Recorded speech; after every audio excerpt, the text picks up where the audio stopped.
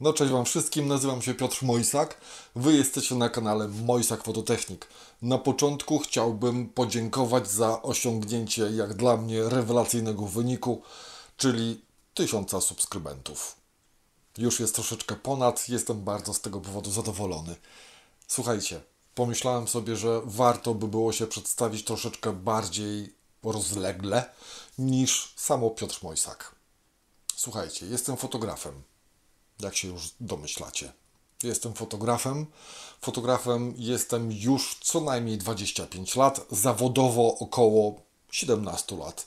Fotografuję e, różne tematy. Przebrnąłem chyba przez wszystkie możliwe dziedziny fotografii, począwszy od fotografii takiej zwykłej, tradycyjnej fotografii na kliszach, na filmach, i powiększanie tego na papier fotograficzny, co niebawem Wam będę próbował pokazać, jak to się robi.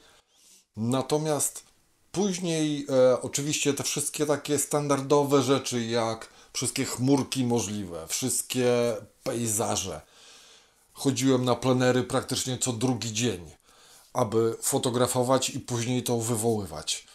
Do lasu oczywiście chodziłem, czyli jakieś takie pejzażyki robiłem, jakieś takie dziwne rzeczy uczyłem się uczyłem, uczyłem.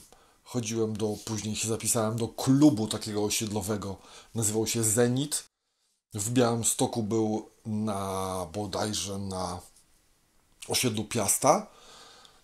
Nie pamiętam jak pan, który mnie tam uczył, jak się nazywa, ale go pozdrawiam. Chyba pan Marek, ale nie jestem pewny. Tego nie jestem pewny, było bardzo dawno. Słuchajcie, przebrnąłem przez te wszystkie pejzażyki, przez te wszystkie makro, kwiatuszki, te wszystkie inne rzeczy.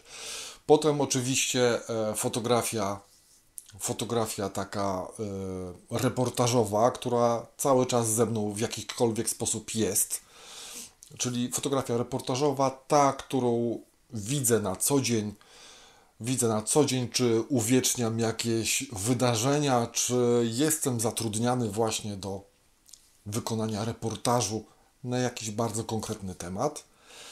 I później, e, później tak bardzo mocno weszła we mnie fotografia studyjna e, i fotografia studyjna pochłonęła mnie praktycznie całkowicie.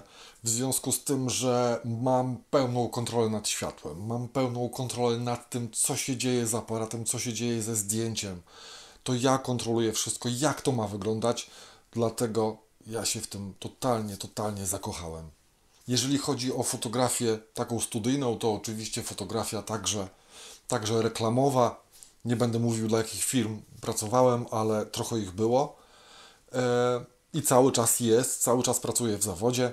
Po tej całej fotografii studyjnej, słuchajcie, jak już wszystkie możliwe i architektura, i wnętrza, i studyjna, i reklamowa, i reportażowa, dokumentalna, praktycznie wszystkie możliwe dziedziny fotografii. Tak, nawet robiłem śluby. Robię od czasu do czasu śluby, bardzo, bardzo rzadko. Natomiast mm, z moich osiągnięć takich większych to wydałem dwa albumy fotograficzne o moim mieście Białymstoku, moje miasto rodzinne e, Białystok.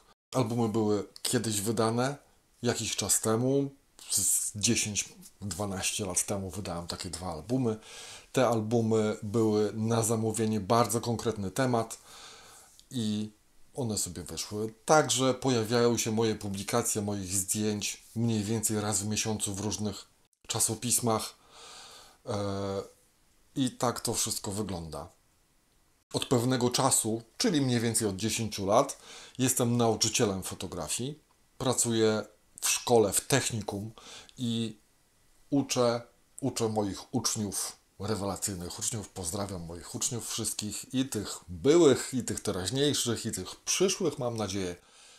Pozdrawiam ich serdecznie, przygotowuję ich do egzaminu na technika fotografii i multimediów. Bardziej fotografii niż multimediów, ale jednak.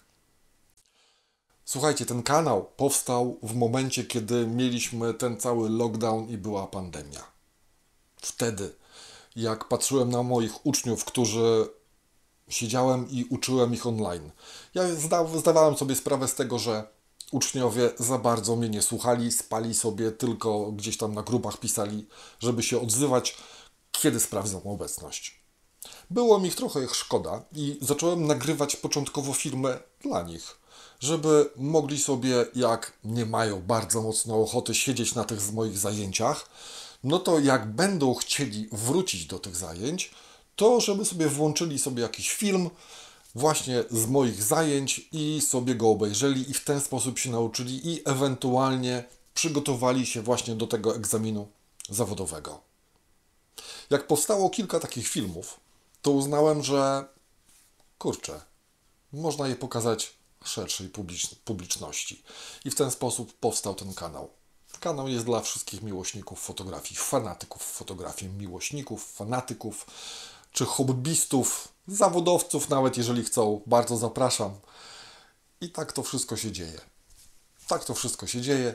Mam nadzieję, że filmy, które już powstały, które już powstały i oglądacie i komentujecie, mam nadzieję, że Wam pomogą w jakikolwiek sposób w rozwoju Waszej fotograficznej drogi. I jeżeli e, daję radę, to fajnie, cieszy mnie to bardzo.